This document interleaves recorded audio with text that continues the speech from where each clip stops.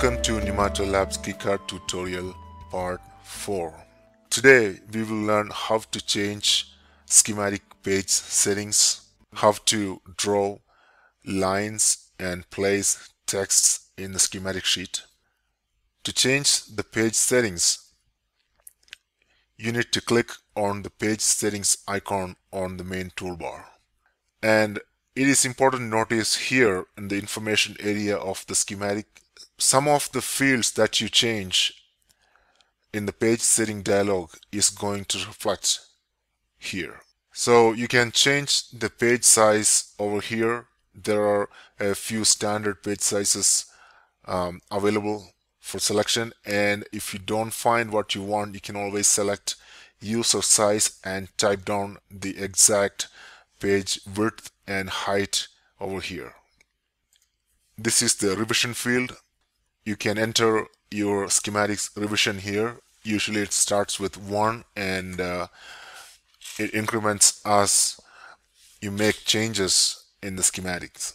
It, it doesn't increment automatically. You have to increment whenever it is necessary. Let me use revision 1 here and this is the title um, whatever title you want to use for this particular schematic sheet I'm going to call this test title.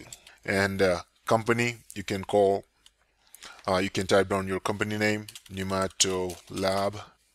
And these comment fields you can enter any data that you want. This will show up in the schematic sheet uh, that we can see in a few moments. And it is important to look at these check boxes here if these check boxes any of these are checked whatever data that you enter to these fields corresponding fields are going to be exported to the rest of the sheets in this project now I'm going to add a few comments. Comment one, comment two. Okay, let's click OK and see what happens here. If you take a look at this uh, information area, you can see the company name shows up here, the title shows up here, and uh, the comments that you put down here um, is displayed here as well. And the revision is displayed in one of these cells as well. Now let's see how to draw lines on the uh, schematic sheet. These lines has nothing to do electrically. These are just for look and feel purpose. To draw a line, go to the toolbar on the right and select place graphic line tool.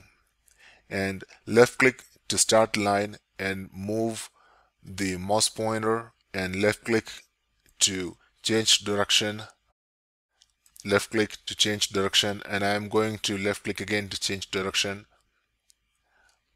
And double click to finish the line.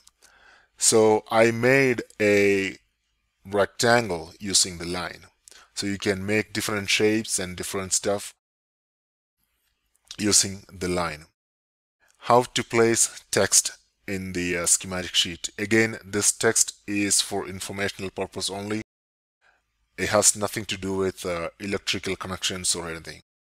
So to place text, click on the uh, place graphic text button on the right hand side toolbar and left click where we want to place the text and type down your text. This is sample.